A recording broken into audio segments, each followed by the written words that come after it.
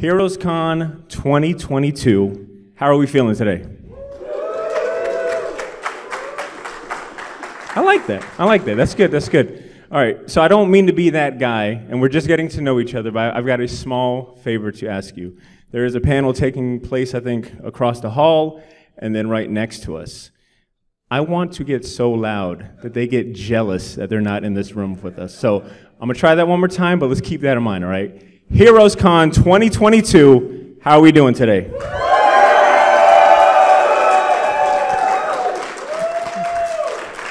Thank you. That is what I'm talking about. That is what I'm talking. Look, it's it's Friday. I'm not in front of my work computer. I'm here at Heroes Con celebrating the 40th anniversary. Like I'm I'm in a great mood. All right. So we're gonna have a good time here. All right. So thank you, uh, first of all, for taking the time to show up in today's panel. I know there's a lot of great things going on at the convention floor, but uh, I'm happy to have you guys here, as well as I'm sure um, our esteemed guests shared the same feeling. Now, before I introduce them, I want to go and introduce myself to all of you. My name is Badr Milligan. I am the host of the long running comic book podcast, The Short Box. Um, we consider ourselves the best comic book podcast this side of the multiverse. And I say that with a money back guarantee. If you don't like our podcast, I'll give you your money back. Luckily, the podcast is free, so it's a win win for the both of us, all right?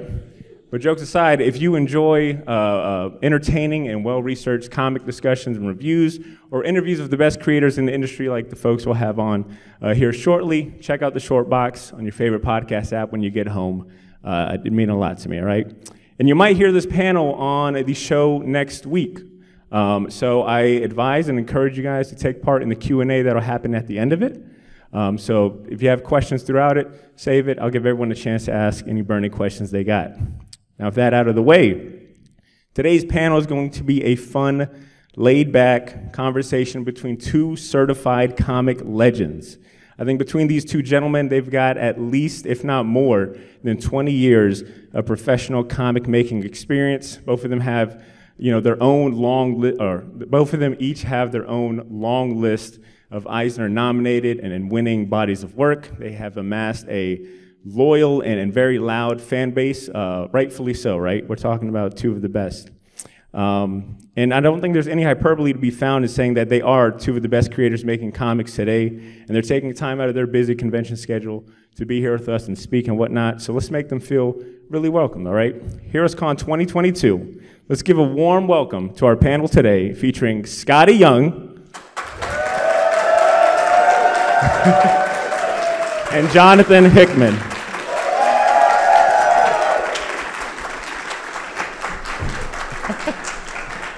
It's always that ledge. That was about a scene right there. Almost tripped up the steps. that would have been great. That was not intentional. That was that was actually me almost busting my ass. That wasn't in practice. We didn't practice that one. Oh, hello. You guys all coming out. Welcome to the world again. It's good to be back. Was there a Heroes Con last year? A smaller one? N- Uh, no. No, this is I it, think right? this is the first one in the last two years, I believe. you guys pumped to be back? Yes. Is this is, is this the first one you've done? First shoot? con? Yeah. No, no, uh, y- but yes. Right? no.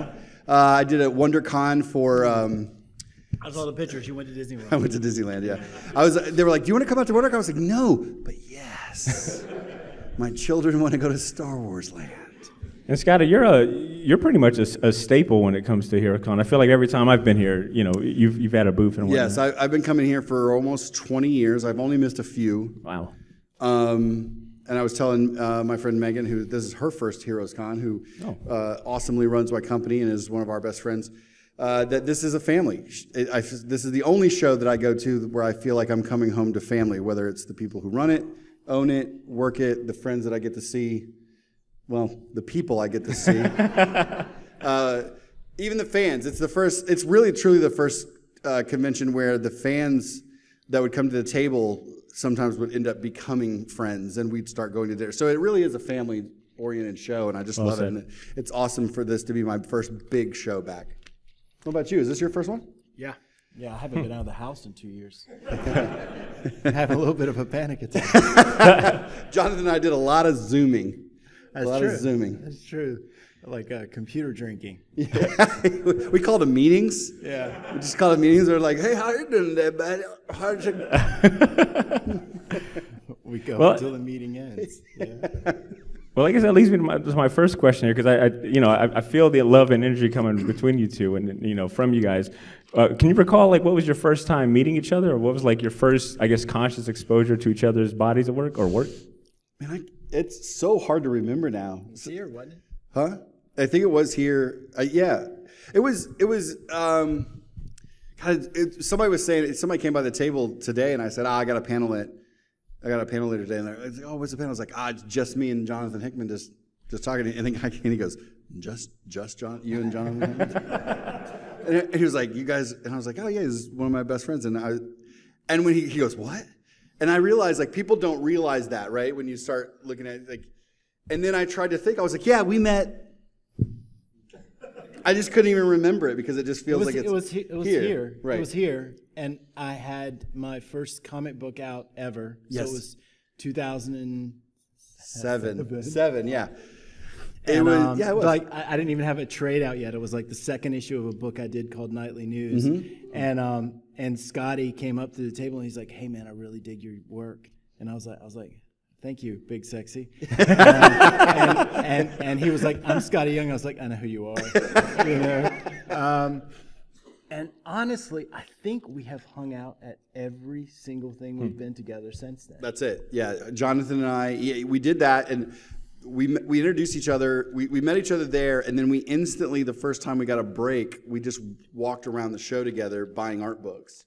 Because Jonathan, uh, you know, he was like the first fellow pro that I met that has an equal love for just collecting art. And not, I'm not talking about original art, just like finding new styles in art. So we just walked to every table and was like, oh shit. Basically, like, okay, should we get this guy a job or be like, nah, let's tell him he's got a couple years left.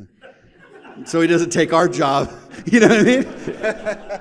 Do you recall any of those artists that like that you were meeting at like young in their career? Like any names that come to mind? Oh yeah. Uh, actually, again, heroes. These all come back to heroes. Uh, you'll remember this. I think we, we all went out to dinner this night. Uh, uh, uh, 2000. I can't remember the year. But doesn't matter. James Harren. Who who in here knows James Harren? Right. Badass. Right. Like one of the first years he.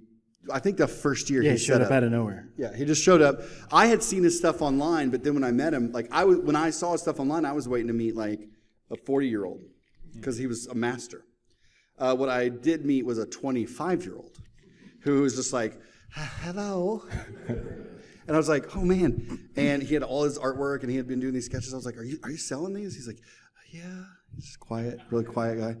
I was like, "Well, I mean, like how much?" He's like, "I don't know, like." 100 100 each. I was like, oh yeah, 100 each? And I was like,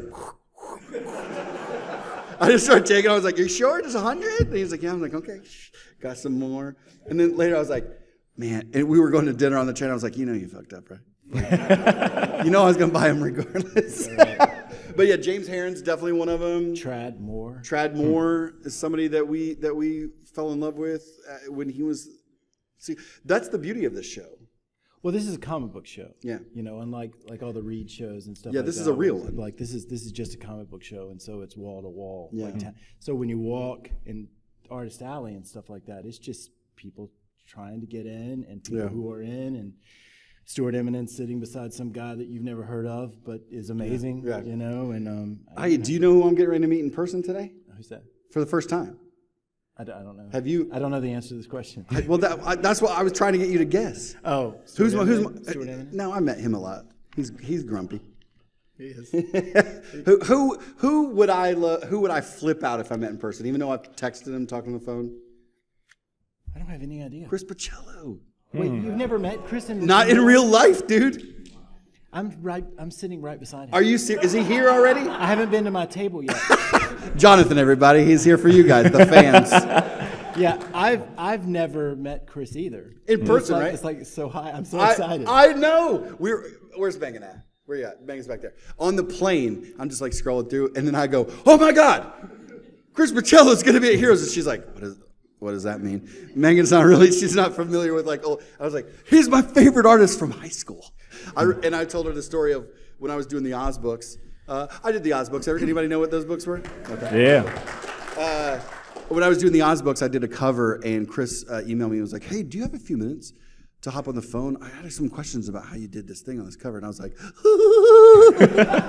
so I went to the bathroom really quick. Just had a person, some personal time, no big deal. Uh, and then I called him, and I, I'm a pretty cool, calm, collected dude, but I was on the phone with him. He had to think I was on cocaine. I was just like, huh? Yep. No, no, then you just do this, and you dodge and burn it, and then you thing it, and then the layer, and then you think, uh, what else do you want to know? Do you like grilled cheese? Do you want to come over? What are you doing right now? But I've never, so I did text him from the plane, like, oh, are you coming to Heroes? And he's like, yeah. You know what? I'm just going to read the text. That's how excited I am. Are you excited now that you're going to meet him? Yeah, but I would never text him. I want to be cool. To Uh, you know what? I'm going to tell you this, but in a minute I'm going to make him tell you his Chris Claremont story. It's the best one.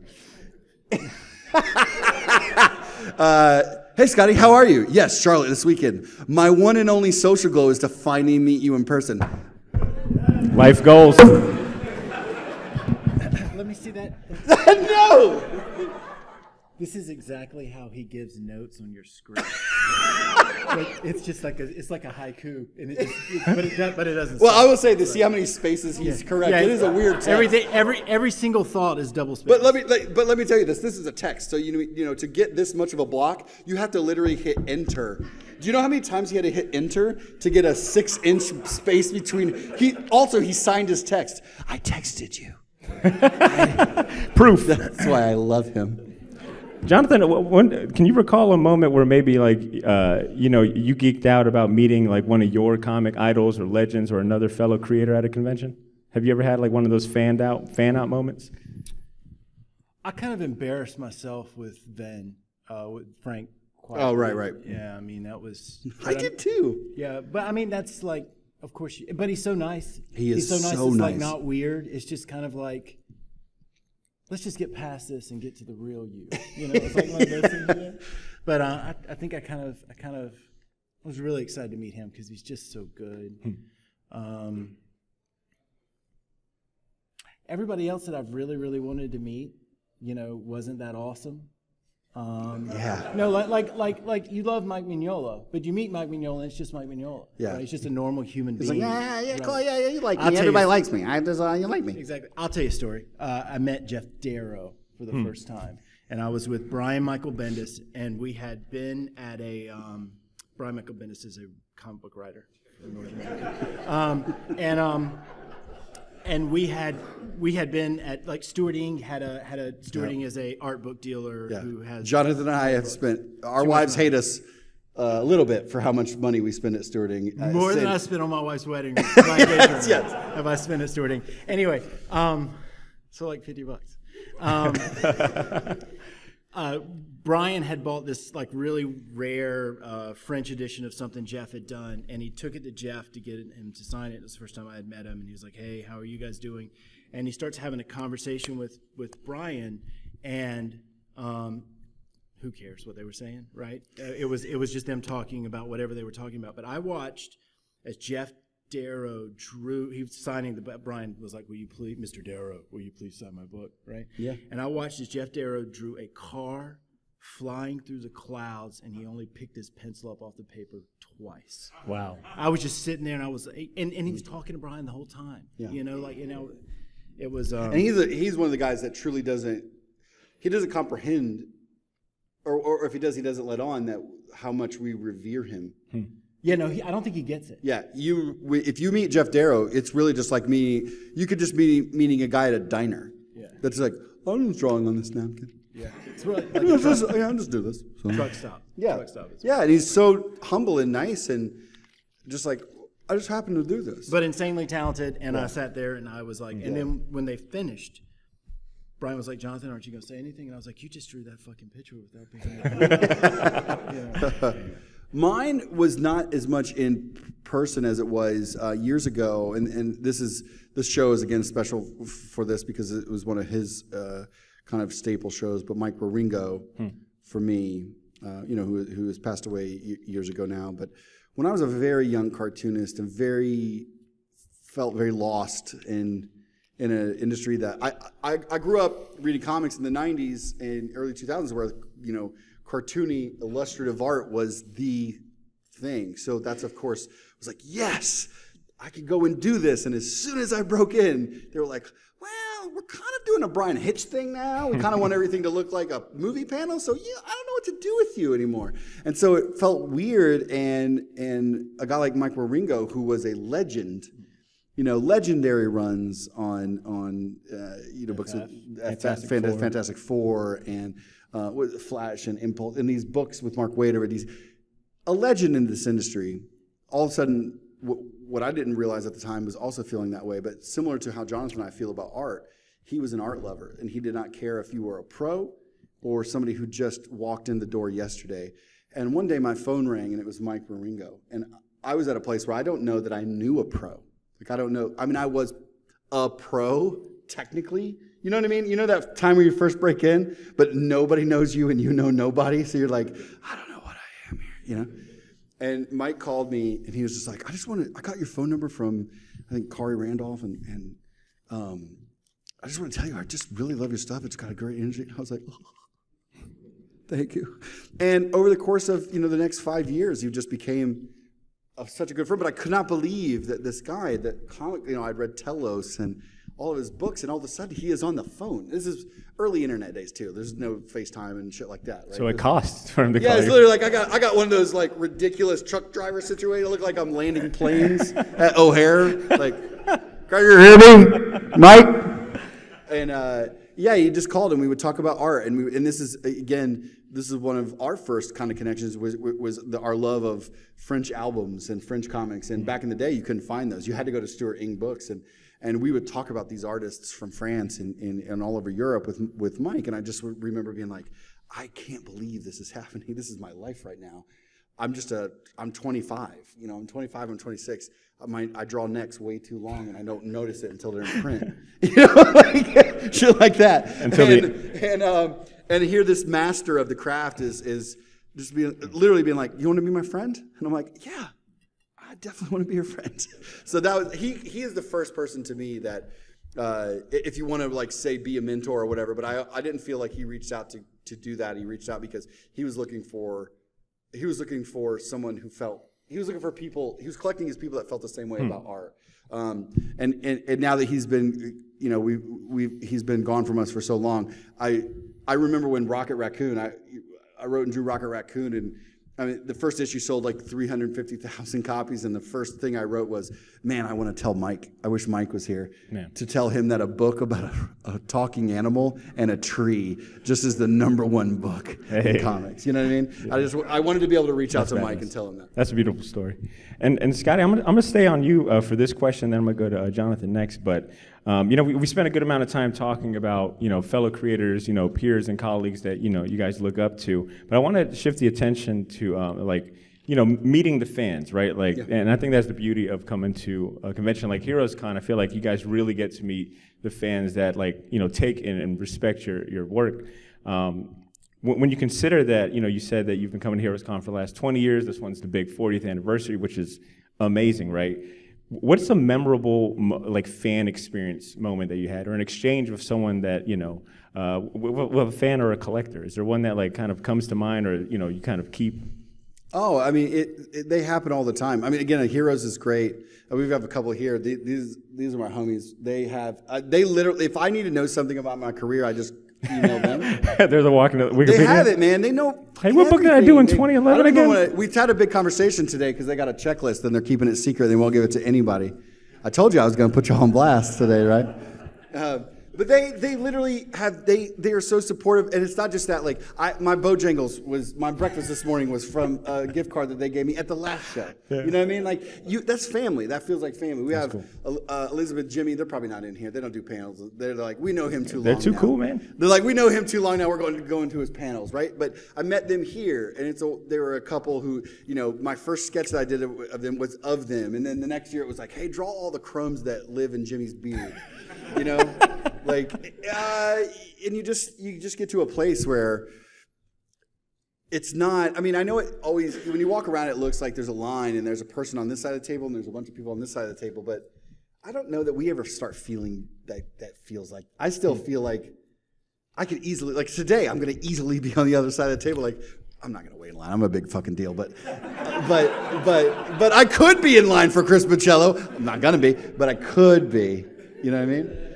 So I think it's it's a it, it, for me. I'm still just a, a nerd who likes art and likes comics and likes movies, and so it's impossible for me to not to talk about this stuff when these people are in the line. So I don't I don't view it as anything other than like. Oh my! I mean, my wife doesn't like to talk about this nerdy shit, right? I got to talk about it with somebody. I'm like, "Hey, do you want to talk about what happened in the And she's like, "No." Do you want to watch uh, some murder shows? Yeah. You're the same, right? Lori doesn't want to hear about this stuff, right? I don't think she's ever read anything You do comics? Is probably what Oh said. no. We joke all the time. We're like, I'll just be like, Casey, what's uh, what's the last comic I did? Yeah.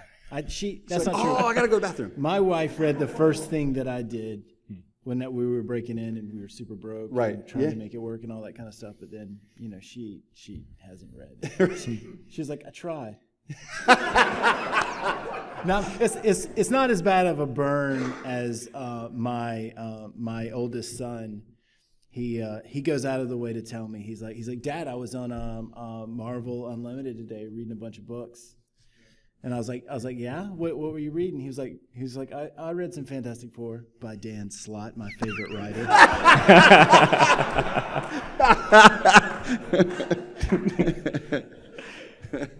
Well, John, I got a question for you because it was cool to hear, you know, your stories about you geeking out about meeting, you know, uh, like Geof Darrow and being really impressed. And I know early on in your career, you know, you wore a few hats when it came to the comic making process. Uh, you know, you illustrated and wrote nightly news and uh, Pax Romana, um, and you've also got experience, uh, you know, in inking, lettering, and coloring. I was curious, aside from from writing, which part of the comic making process is, is your favorite? well, I like, I don't lettering sucks, but um, well, that's it. If you are doing everything yourself, it's really tedious when you get to that point. Like, that's not a that's not a like lettering isn't fun. That's just a Jesus. I just want to be done. Right. Um, I like all of that better than the writing. Like, I like all of that stuff better than writing. Um, that's it. Full stop. It's like, Mic drop. Mic drop. Is that, I mean, I, you know, I, I write a bunch of stuff, but you know, there's a part of me, a little, little tear. I wish I was drawing on my I know, own. Jonathan. Every year we talk about the book Jonathan's gonna draw every year, hmm. This is the year. and now I feel like I've been sucked into that side of life. I feel like you should have warned me that once I jumped over, I would never go back. Because every year I'm the same way. Like I'm like, oh fuck, I think what I told you was write your own books. you did. But Jonathan. also, but also draw them and keep all the money. Is what I told. That's true. Jonathan is solely, not solely, but a big, big reason. solely, solely. a big, big reason for me jumping over. Jonathan and I had talked for a very long time about doing a project together.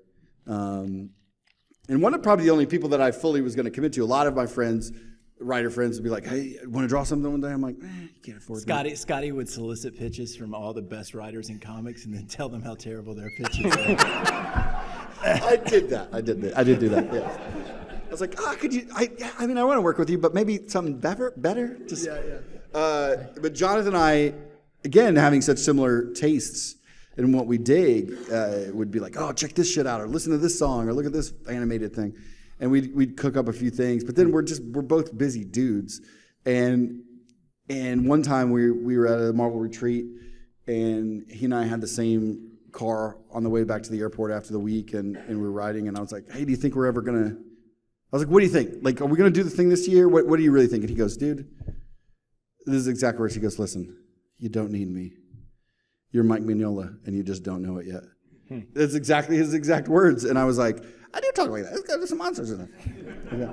But then uh, after that, I got home and I was like, "He's right." And then I published I Hate Fairyland. And now, and then that worked out. I did write and draw it, and I kept all the money, and it was great. Um, but also, I was so tired. It's so much work. There's a lot of work. Uh, and I thought, you know what? I'm going to take a break. I did 20 issues of I Hate Fairyland, and I was like, I'm going to take a break for a year. I'll just write a series with Jorge Corona. I'll write, you know, we wrote Middle West.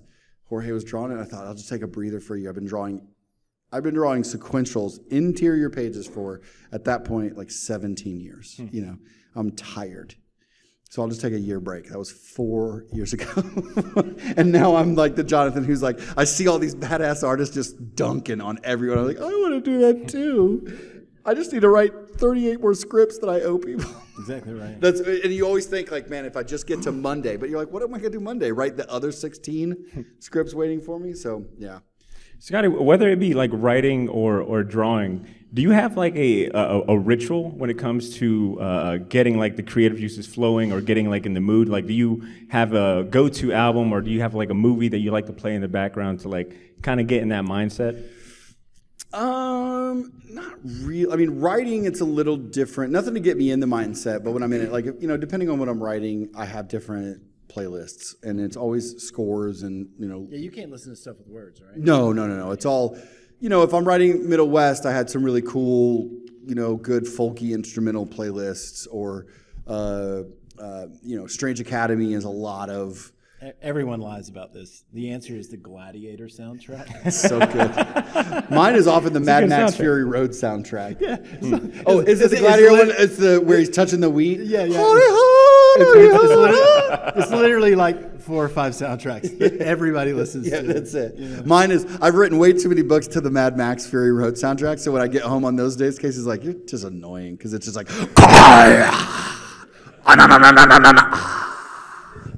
um, but yeah, I, I will do music scores. But I'm also I'm I'm a I'm a weirdly kind of rigid schedule person. Like I work eight eight to five, like eight to four, like every day. Like at four or five, like whatever's done is done. I don't care if it's due tomorrow. If it's not done, I'm just like, hmm.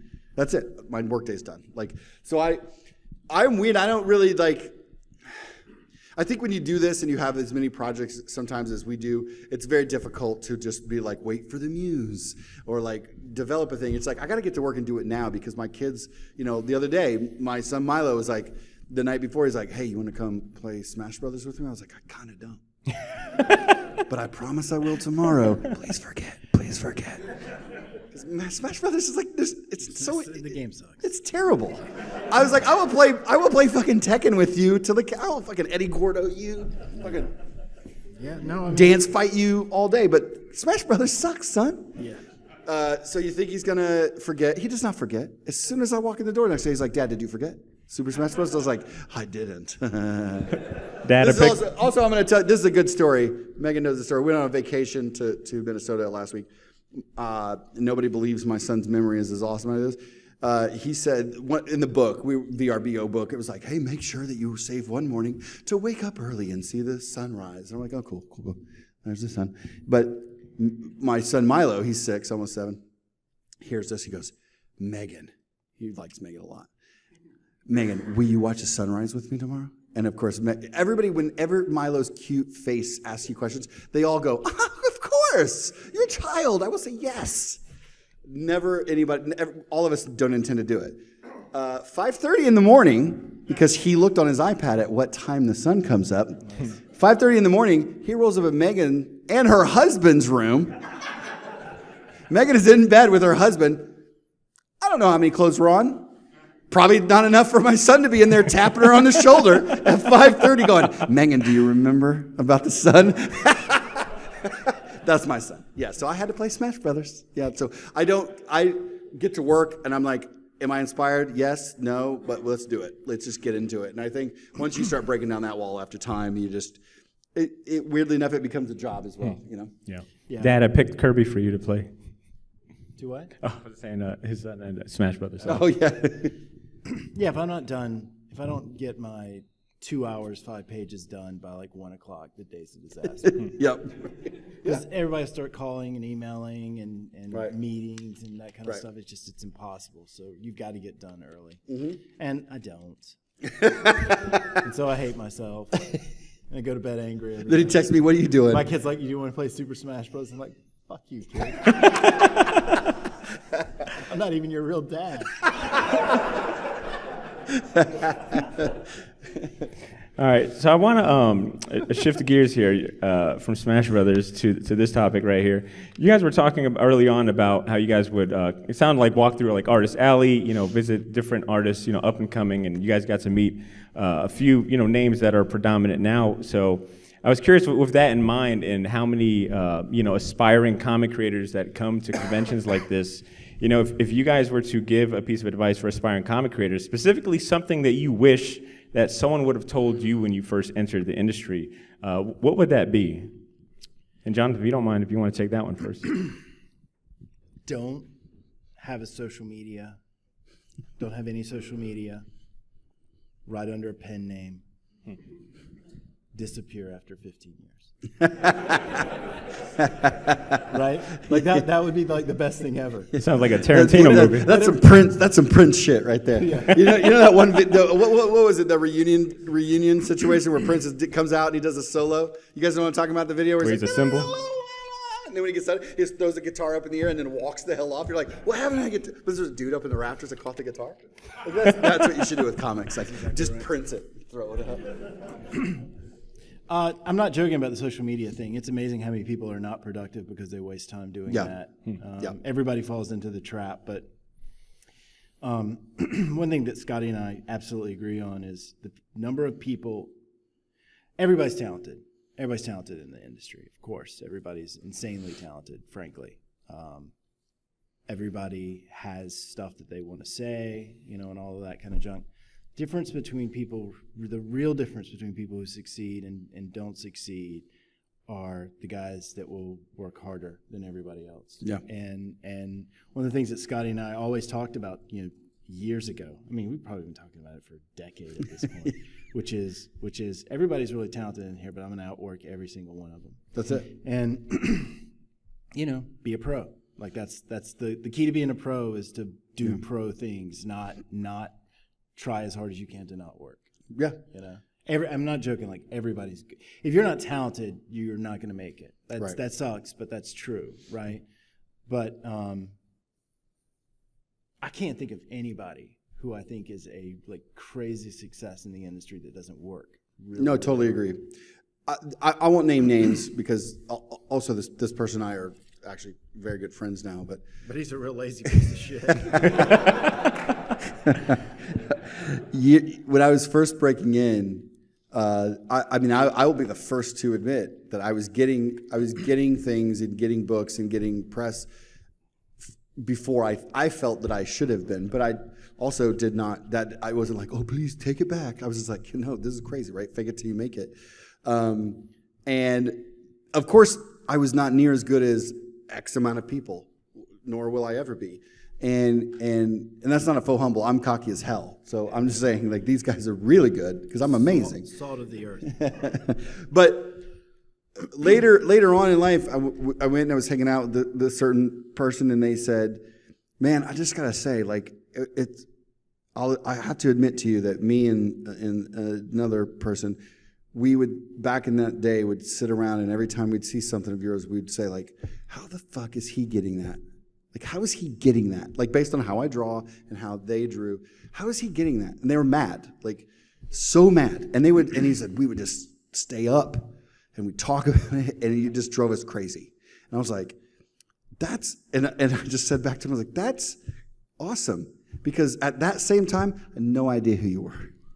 And all I did was grind. So that's what I'm saying. Don't let, the thing is, you can't care about like what's going on, what's the new thing, what's everybody fighting about, who's good, who's not, who am I supposed to like, who am I not supposed to like.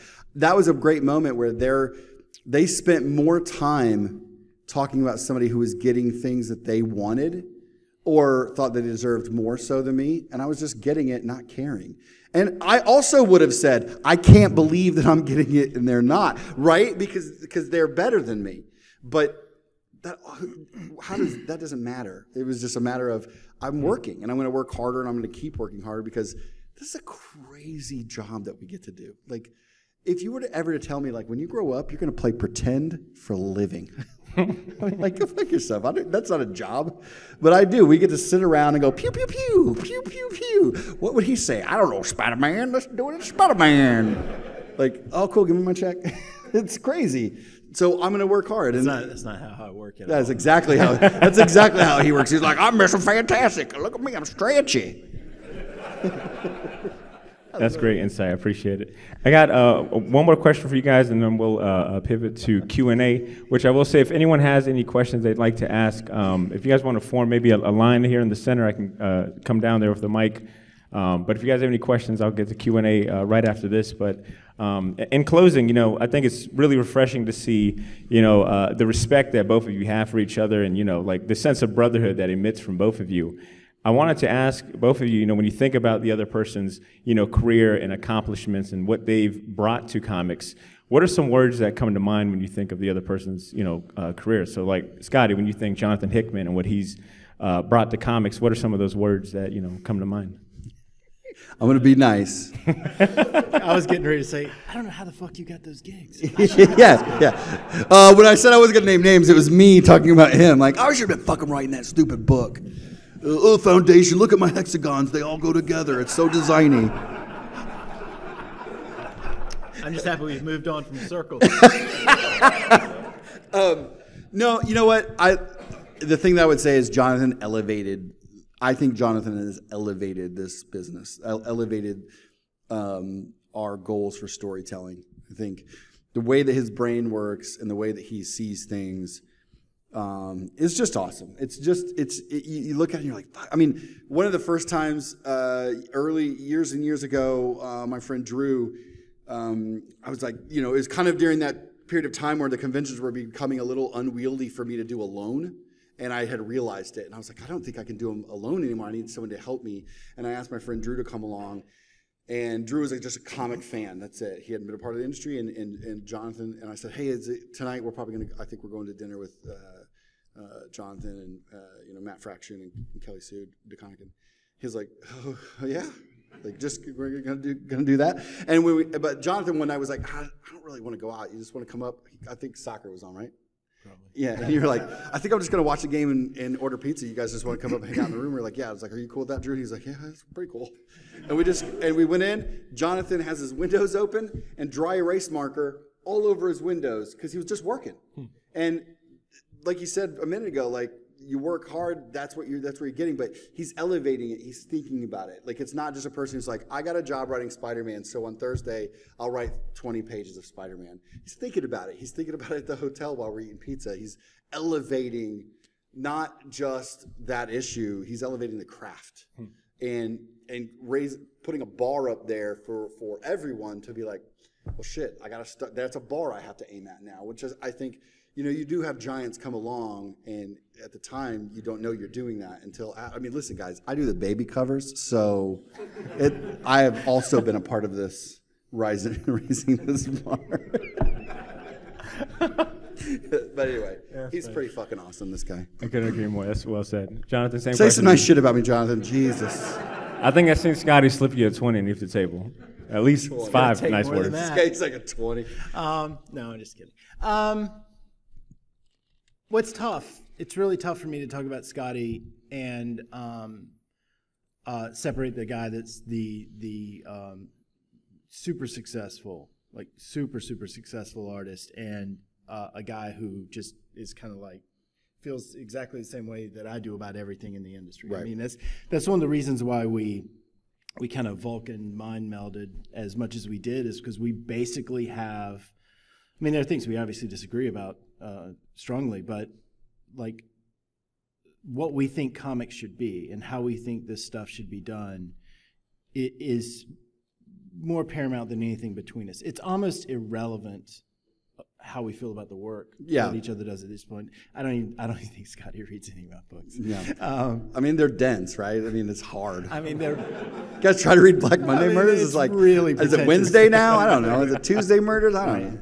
Um, but uh, I think I think so. Outside of that, like that's how I think about Skottie all the time. Um, so, but outside of that, in terms of what he means to the industry, um, uh, look, I think that there's an entire um, industry of of how you can be a successful artist and not be a Marvel House style guy, whatever that Marvel House style is at the time, and what Skottie has done that is the most important thing is that instead of looking at that as a as a um, all the books look this way and then we have this guy who looks whose stuff looks this way, right?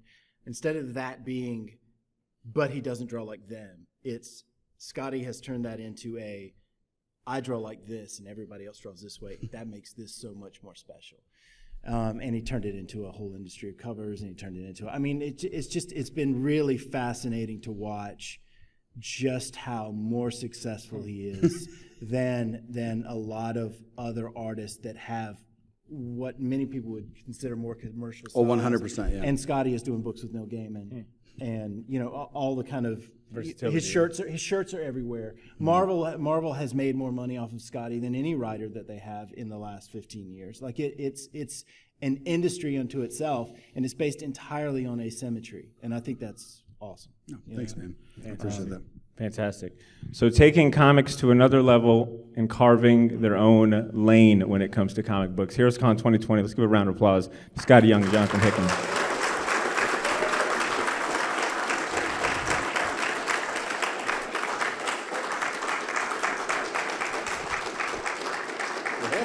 Yeah.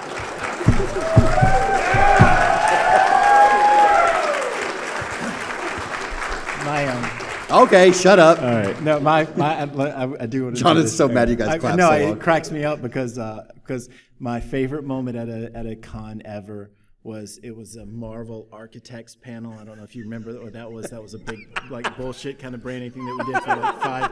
For Did you like see, five they had a really writers. cool walking photo with all of it. It was Exactly amazing. right. Everybody wear black. Yeah, ACDC Um, playing in the background. And so, um, and so they were introducing all of us, and they introduced Brian and Matt and Jason and Ed, and then they introduced me, and they cheered louder for me than they did for Ed. And Ed looked at me, and he's like, "They cheered louder for you." Than he leaned over, and he's like, "This is fucked up. I don't like this at all. This is not the world I'm supposed to be." That's great. I was like, "I'm sorry, Ed." All right. So I turn it to you guys now. Does anyone have any questions that they would like to ask? All right. Saw first hand go up. Um, so I got a question for Jonathan. Um, I know you get hit a lot with your Hickman style design that comes to your books. Um, I've been advertising myself. I've heard that you were in advertising before. I was. Comics. Yeah. And from seeing that, I see a lot of creative director in the work that you do. I would just like to hear you talk about why design matters so much in comics. Why it's not just it's not just the drawings and the and the storytelling, but why design itself is such an important piece to everything that happens. Before you answer that, I'm going to say I've been a part of new things he's cooking up in his head where he doesn't even talk about the idea or concepts. He will actually go, okay, but first, and he already, it's like it, his brain is there. Like he's already got the, the credits page in his head, which is fucking amazing. Yeah, I, th- I think the goal is um, to make beautiful objects, right? Like that's that's what I want to do. Like I want to make beautiful stuff. Um, you're not going to hit. Stuff is super functional at the same time. There's never Well, sure, sure. I mean, it all serves this. At the end of the day, I'm a storyteller, right? But I want to make beautiful objects that are storytelling containers, right? And so, in my opinion, um, from a design sense, it all has to work together. And I'm not saying it has to be homogenous, even though I do that sometimes because it it helps with the branding, right? Um, also, my heart's with you, still still being in advertising. Um, um, but I, I I'm not one of the few good ones. Uh, no, I'm. It, it's when it's not. It's not. Advertising is amazing, right? That's an amazing profession. The problem is the clients, right? Like they don't know what they need, and that sounds awful. But you know, you guys have seen Mad Men. They don't know how to sell their cigarettes, but God damn it, Don Draper does, right? Um, but I, I think I think the important thing is that I want to make beautiful objects that are storytelling containers, and that the, everything inside of them needs to serve the story. And so that's just how I construct it. And I came in like really early on. Like my very first Marvel gig was like Secret Warriors, and I had all of these like you know hierarchies of who's in Leviathan and who's in Hydra and who's in Shield and all this kind of stuff. And it blew the Marvel guys away, and they didn't know what to do with it. But I knew that it was a different way to tell, give information that didn't. It also lets you make comics a little bit differently too. You know. stand out. I mean, Yeah. even looking at your covers, your covers have a very design sense. They look different Well, we, we now I've I've won that fight so that we now have a budget for art directors mm-hmm. and people who can come in and do all of that kind of stuff. Like we weren't going to have all of that on the X Men books, but I I hired Tom Muller by myself, and mm-hmm. then Marvel was like, "You can't do that," and I was like, "It is Didn't done. pay him. Yeah. It's done." And they're like, "But we so you know, but we have to maintain copyright and all that." And I was like, "I was like, this is a problem that I." Uh, you know, hope you can solve. So, Well anyway, said. thanks. All right, we got another question. Hey there, my name's Noah. This um, for Skottie. What's happened with the Strange Academy comic? What's happened with it? It stopped coming out. Oh, it's coming back. Yeah, we're uh, it, Marvel's doing one of the Marvel things where they're like, last issue, next issue. you know, like yeah, they paused it, and then I think the new number one. Uh, Megan, do we know what's the tentative date? August, September, something like that. It'll be back with the number one slash issue nineteen. Like in my you know my computer it says nineteen, but I think it's going to be a number one. And just one more thing. Yeah. Is there going to be a TV show? That is something I don't know. Um, if there is, that'll be cool. Uh, it's not anything that, that we've talked about right now. It's just been me and Humberto kind of having fun and again playing pretend together. So it's uh, yeah, I don't know about the TV show side of it, but it is definitely coming back. And the last the, this next arc's going to be pretty big. It's going to be cool. Thank you so much. I appreciate Good it. stuff. All right, next question. Jonathan, what's been the most difficult part of the Three Worlds, Three Moons project? Um, no one knows what it is. It's really, really hard to, explain to people, and um, I tried. I, I, I've tried to explain that it's watching us make a concept album. You know, is kind of what the the premise is. Um, but you know, people want comics, so we do some comics. But we're just now to the place where we're getting ready to do like our first ongoing and that kind of thing. So um, I don't know. It's been weird. It's been weird. I, I think the experience for everybody has been weird. Uh, Mike and Mike are having the time of their lives, and the designs look amazing. Um, we just have to figure out. Worst case scenario, we just start putting out comic books. You know, uh, best case scenario, we're putting out all the ancillary stuff, and it's working with it at the same time. You know. Is the idea like to have multimedia as well? Part of that? Yeah, I mean, the idea is to have executable intellectual uh, intellectual property that we can do games of, and video games, and TV stuff, and all, all of that. So it was built with all of that in mind. So um, if we get there, we get there. If we don't, we'll make cool, cool comics. You know. I was just wondering, Jonathan, as someone else from Florence, South Carolina, um, was there any? I don't live in Florence, South Carolina. That's a lie. Not yeah, from I said from. Is there any? Was there any uh, inherent difficulty in breaking into the industry in like a not metropolitan area? Um, well, I did not break into comics until I was 35 years old, and that was only after I failed trying to get in as an artist for a decade. Like I won the I won the quick draw contest here in 1996 or something like that. Um, I don't. Do y'all even do the quick draw contest anymore? All right. Anyway, so Jonathan's entering. He's gonna lose again. it was my These fifth- kids are too good now. It was my fifth try.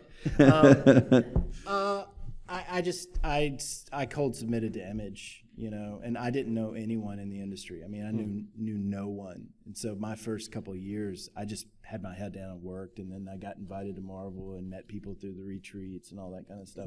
I still don't know, like when people talk about living in Portland or something like that, where it's like enclaves of comic book people. I don't know that that's entirely beneficial outside of networking, but you know. Um, if you make good books, Yeah, you live you'll anywhere. You'll, you'll be all right. Yeah. Yeah. Well said. Thank you. All right, next question. Hi, this is a question for both of you. As someone who's trying to break out in the comic industry, what's your thought process going into a new series like? How do you start a new series? Oh man. Um, You take a hot shower. Yeah, sometimes actually. No, it really. I what I do is I write. I have uh, you know a note on my phone with just anytime something occurs to me that could be a potential seed for a new book. I just write the sentence down. You know, like blank. Oh man, that'd be. A lot of times, what I I will watch something and it'll be this, but then I will question like, you know, this third tier character in that and be like, well, what's that guy? Like, what's that person's story? Right, sure. You know what I mean? Like, what is the story of the person? Like the, you know, like, you know, what's like right now I'm working on something that, where the key, the key was like, what is if you have a chosen one and then that you know that's basically like winning the state championship uh, you know harry potter wins the state championship right? But what does that guy do when he's 40 he's al bundy right? Like like he just keeps talking about winning state nobody gives a shit if you won state when 30 years ago right so like harry potter be like guys i beat voldemort they're like yeah but you're a fucking clown now like you work at a you, he, like Sell shoes. yeah, you, you scratch your balls on television now, right? Like, so I think it's that. That that's for example. Like I like that's, but and I just write that stuff down, and then when the schedule opens up, or like right now, Jorge and I are building our next project. It was like let's go down the list, and I don't like to think too far ahead because I might not be in that headspace when the schedule opens up.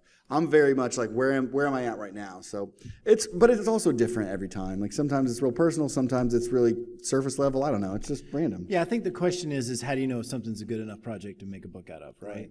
Um, and I think that that's a that's a kind of tiered thing. Like, have ideas all day long, Yeah. right? Like, and I have one of these. I have one of these new comics txt files on my on my laptop, and it's it's probably if you print it out, it's probably 100 pages at this point. Right. And it's insane stuff. Like I, I I looked at it the other day, and I have like in all caps bolded exclamation point exclamation point planned obsolescence nothing else just that Yeah. and i'm like that's not an idea I don't know why Lori doesn't read his comics. I don't even know. but but but what happens is that you keep noodling on the ideas and the ones that stick around the Right. you- like the one and, and so you think about it a little bit more and you write a little bit of it right and you still and, but you put it back away and then the ones that you can't stop thinking about and you just have to keep writing that's a book worth doing Yeah.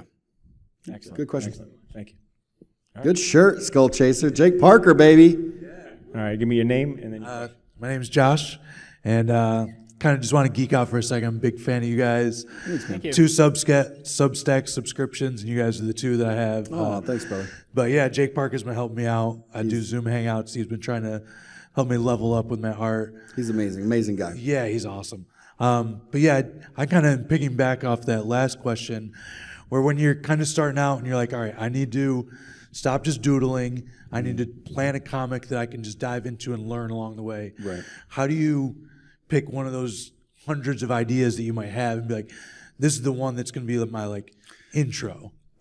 I will I will speak to this because I, Jonathan watched me go through this process. You know, having drawn comics for so long, and then starting to write here and there, and then deciding to write my own thing and move on. I struggled with that a lot because I thought, man, I have this huge hill to climb. Like I've got to prove, you know, like I'm not just an artist. I also am a genius. But I don't know that. Like you're just like, and so once I let that go, my philosophy now is whichever one you have, like Jonathan said, whichever one you can't let go of, just do it. But remember, you got more time to do the others. Like it's it's the being too obsessed with one and thinking that's the it is what hobbles you because you stop thinking about you won't walk anymore. You won't you won't go forward anymore to to get you just stay there and go like which one's the best? Let's do nothing.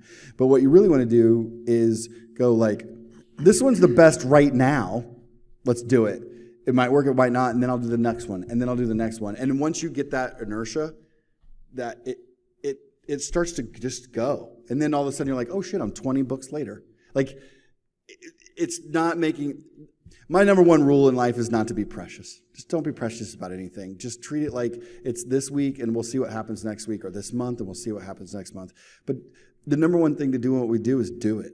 Make the comic. Yeah, you're an artist first primarily. Yeah, I started as art. Yeah, so you have such an incredible advantage because you don't have to.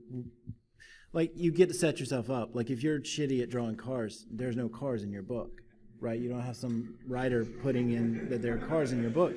Like and the like the beautiful thing about it is is that this is a visual medium. So you're already winning if you're a decent artist, right?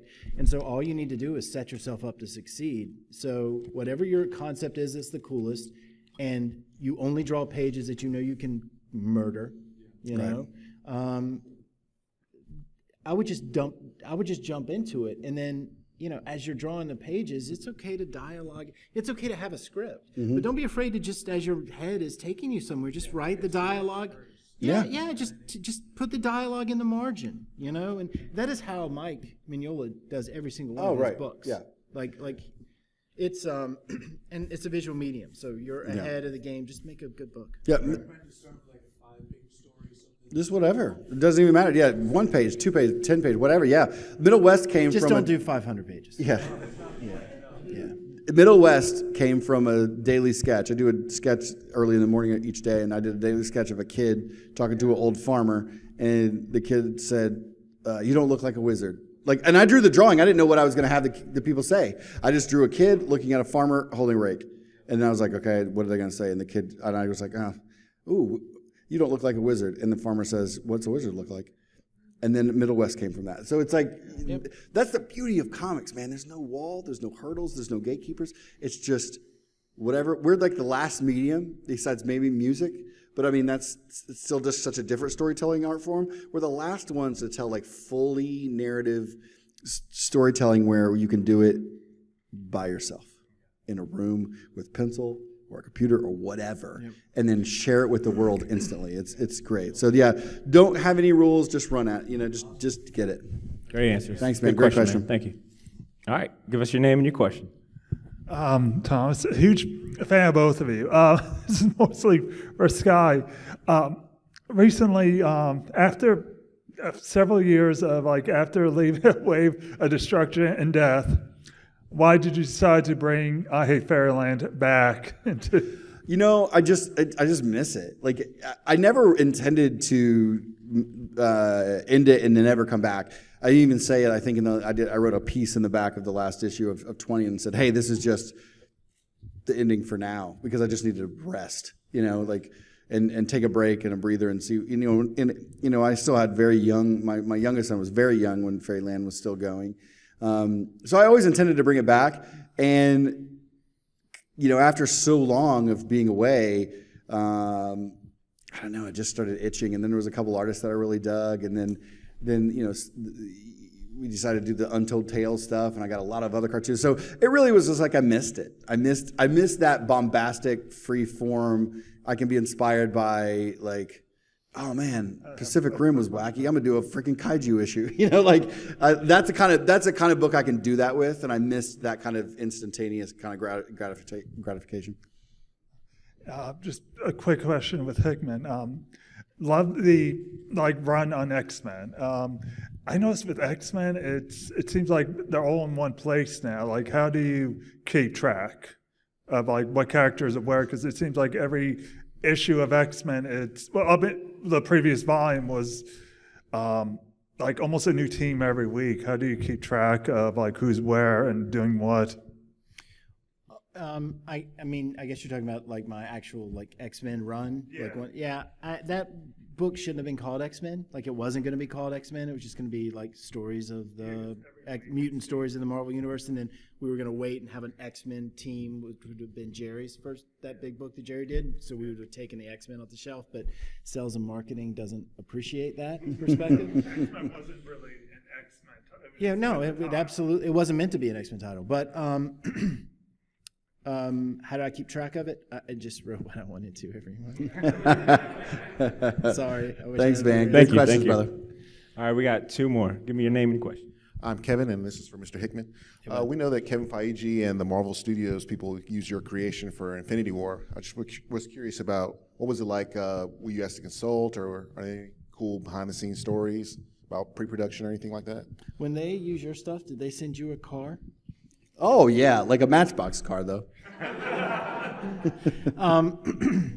It's really bifurcated. Like we don't get in with those guys or anything like that. I mean, I do stuff in LA and all that, but um, I, you know, it's cool when it shows up there. My kid thinks it's cool, which makes me feel good about it, right? Like my kid thinks um, thinks I don't suck entirely, which is good. um, but I, you know, I, I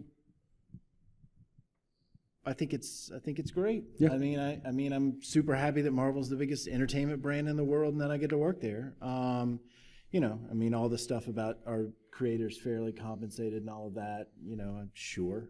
I agree, I guess, Right. with that. For But, sure, yeah. Um, but I feel I, I feel like um, I'm appreciated and taken care of for the most part. Um, but you know, we'll see what happens when they bring Fantastic Four stuff in there. They better Yeah. not use that Mark Yeah. Waid shit. Is what Good stuff. Thank you. Thank you. Yeah, All yeah. right. Last question, gents. All right. Give me a name and your question. Uh, yeah, my name is Kelsey. Uh, this is a question for Skottie, but it could be either one. So they had mentioned the you know returning of Fairyland Uh-huh. and stuff like that. Is it hard to give up like full control over that, where you're you know doing the writing and the art, and then bringing in other artists? Um, Is that you know difficult to like pass that off, and would you want to still be doing it, even though it's exhausting, obviously? Yeah. Uh, I, th- I always thought it was going to be, but I've been really lucky. Um, I've been lucky since I, because of when I chose to s- start writing, I've also, I've been in a place in the industry where I get to choose who that is that works with me. And one of the great things, and, and Jonathan's been lucky in this realm as well, is like when you're an artist, you understand art. You understand how to, you understand it. Uh, when I work with Nic Klein on Deadpool, uh, I've been friends with Nic Klein for a lot of, very long time. So all I did was I go, I buy, you know, I get three of my Nic Klein trades off the shelf, and I just flip pages like this. I don't even read it. I just am looking, and it's almost like a like a computer where I'm like, cool, okay, he likes he likes to do three medium shots and then this, Yep. and then he likes to do this. He doesn't do that many down shots. He does this or whatever, right? And then you just lock all that in, and so when you're writing, you give him, you start thinking about what he's what he dunks on, and then also like, okay, I'd also like to see him let's see if he can add an extra an extra spin before that dunk and challenge him a little bit. But always give him room. Uh, that's my favorite part. So because I've had control over who I work with, I've never had a problem with handing it over. I'm more excited because to me, I've always said it to me once I got on the writing side, it was the first time I ever felt like I was actually collaborating.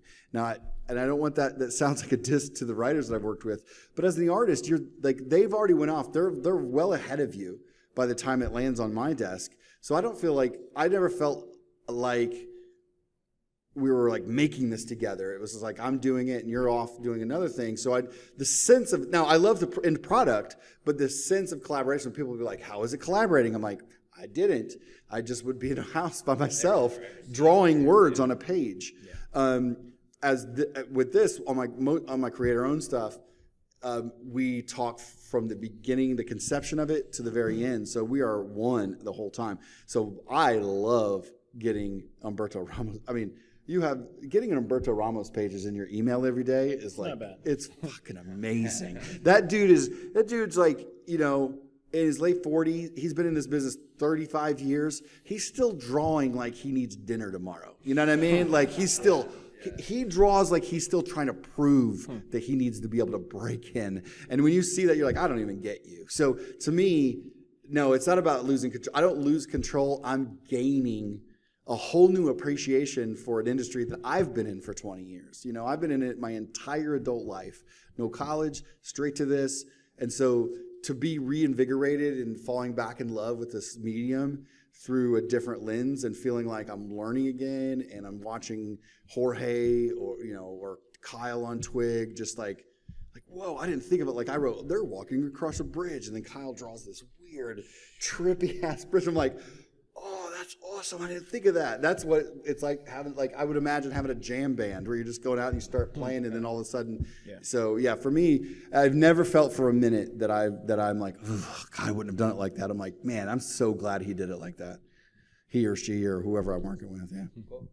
And one other thing, just to follow up on that. Mm-hmm. Sure. Are we going to see any more uh, Uncle Ewan uh, variants on the series at all? oh, which, which oh my gosh. Oh is that the, I- the I- I painter love right? The art from him uh, from, for a couple of those covers, they're incredible. He's Like, amazing. Yeah, I need to reach back out to him. Pencils. I would love to see him. He's talking about there's an artist in England who just did like just for fun. uh, One of his friends drew a Gert for I Hate Fairyland, and he painted it. He's got this crazy like Bisley painting style. I haven't seen this. So for the variant covers, I, he doesn't. Thanks for the support, John. Um, no, but for the variant covers, Yeah, I don't know who this person is. yeah. Uh, what, what's his name? Uh, it's Ewan again, Ewing. I think. Yeah, it's like, but it's Ewan McLaughlin. I think right. is his name. And yeah, he, I would just send him pencils, and he would Bisley over it. Oh, nice. And and it's just bonkers awesome. So no, Is I, it I analog or is it? yeah. Actual painting on, on paper, yeah. So, yeah, we'll probably reach out to him for a thing, yeah. Thanks, man. Great question. Good stuff. Thank you guys so much. Those were some fantastic questions. Uh, thank you guys so much for showing up to this panel. I think there's another one um, right after this one. But before we do that, let's give it up one more time for our esteemed panel, Skottie Young, Jonathan Hickman. Thank you, guys. You Thank guys you. fantastic.